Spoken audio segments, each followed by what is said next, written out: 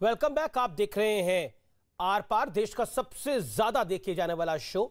और ट्विटर पे बहुत से लोग रिएक्ट कर रहे हैं। फेसबुक पे हमें रिकॉर्ड व्यूज़ मिल रहे हैं। यूट्यूब पे हमें रिकॉर्ड व्यूज़ देख रहे हैं। उसके लिए आपका बहुत बहुत शुक्रिया। मेरे साथ संबित पात्रा है। मेरे साथ आज की चर्चा में शहजाद पूना वाला है। मेरे साथ राजकुमार भाटी है। सलमान निजामी है। शादाब चौहान है। और मैं शदाब आपसे 30 सेकंड के पास, आपके पास आता हूँ। फिर मैं सलमान निजामी के पास जाता हूँ। शदाब चौहान क्या आपको लगता नहीं है कि टीपू सुल्तान की बात करके मुगल की बात कर कर आप इस पूरी क्रिकेट को की बात को जिसमें आप खुद कह रहे थे ये तो खेल है खेल को खेल की तरह लेना चाहिए इसमें आप अपना एजेंडा चला रहे हैं?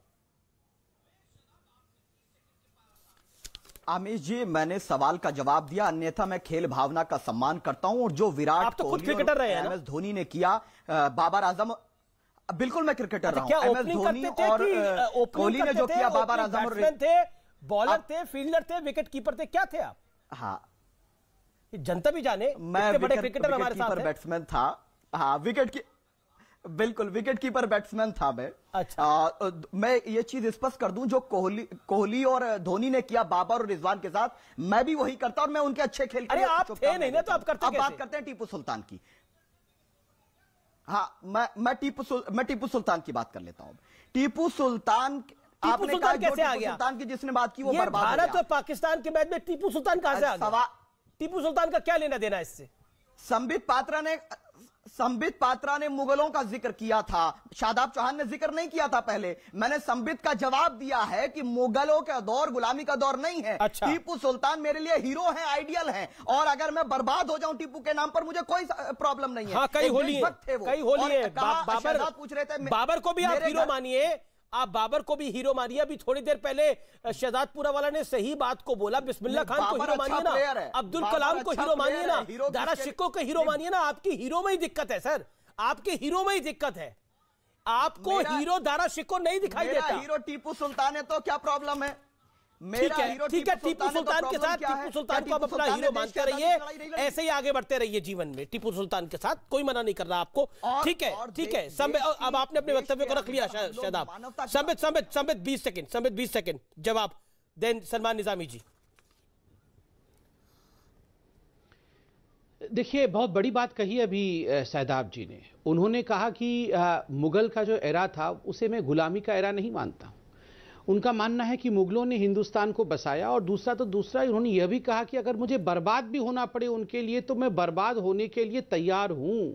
आप सोचिए, अपने फेथ के लिए, अपने अपने विश्वास के लिए किसी भी हद तक चले जाना, उसके लिए कुछ भी कर गुजरने की क्षमता रखना ये कुछ लोगों के अंदर है और वही हमें देखिए आप से लड़ाई लड़ी। मैं अमीश कह रहे थे जो भी कोई कोई बात नहीं। बर्बाद हो गया ये अमीश ने नहीं नहीं ये मुगल अंग्रेज़ों के खिलाफ कौन सी लड़ाई लड़ रहे थे? हम देख रहे थे। अमीश भाई ये फिर लोग ये लोग सबके बीच में बोलते हैं। और जहाँ तक वफादारी का विषय है इनसे हमें लेक्चर की आवश्यकता नहीं है। मुगल हमारे लिए क्या थे? मुगल का दौर गुलामी का दौर था या नहीं था? उसका लेक्चर हमें चौहान से लेने की आवश्यकता नहीं है। सलमान निजामी देखिए मेरा आखिरी दौर है। सलमान निजामी सलमान निजामी आप कहते हैं कि क्यों भक्तों आ गया स्वाद करवाली बेजती ये तो बिल्कुल उससे जुड़ा हुआ ही नहीं था। तो महबूबा मुफ्ती कहती है कि पाक के लिए जश्न में कश्मीरियों के खिलाफ गुस्सा क्यों? अब आप मुझे बताइए इन दोनों में अलग क्या है? एक कह रहा है कि पाकिस्तान के लिए अगर जश्न मनाया जा रहा है तो ठीक है महबूबा मुफ्ती राधिका खेड़ा सही कैसे है? जवाब दीजिए। सलमान। देखिए अमीश जी जानबूझ के इस डिबेट को किया जा रहा है और मिसलीड किया जा रहा है पब्लिक को। मैंने पहले भी कहा आपको इस देश में जो माहौल बना है कि स्पोर्ट्स तो ये ठेकेदारी जो सरकार की बन गई है कि भाई आप थोड़ी ना खेल रहे क्रिकेट। आप कश्मीर में मैंने कहा तो मोदी ने क्या बोला क्रिकेट पे? प्रेजेंट। और ये आपकी मोदी ने पिछले चार दिनों में क्रिकेट पे कोई बयान दिया तो बताइए। के होते हुए कश्मीर में जो है पटाखे फूटे जा रहे हैं। ये आपका वहाँ ओके ओके एक सेकंड किया है। शहजाद कुछ कहना चाह रहे हैं? शहजाद शहजाद शहजाद शहजाद बीस सेकंड बीस second respond to Salman Indian cricket team के खिलाफ है। उन्होंने ये कहा कि भाजपा इसको पॉलिटिसाइज कर ठीक है ठीक है बोलिए। और आज अमित जी मैं अपनी बात रख सकता हूँ। जो है हाँ, अमित जी मैं अपनी बात रख सकता हूँ। हाँ। बोलिए सर बोलिए बोलिए अपनी बात रख सकता हूँ जी जी जी।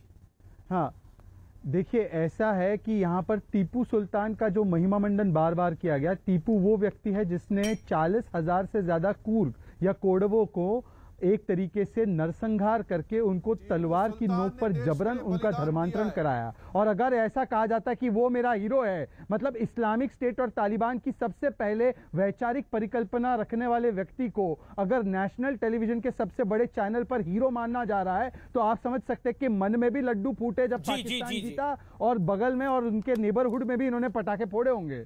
बहुत बड़े बड़े। मैं मैं फ़िलहाल राजकुमार भाटी आपको मैं लास्ट वर्ड देना चाहता हूँ। क्या आपको लगता नहीं है राजकुमार भाटी क्रिकेट से जैसा आप खुद कह रहे थे किसी भी खेल से क्रिकेट मैच से पॉलिटिक्स को दूर करना चाहिए लेकिन पॉलिटिक्स को आप खुद ही लेकर आए?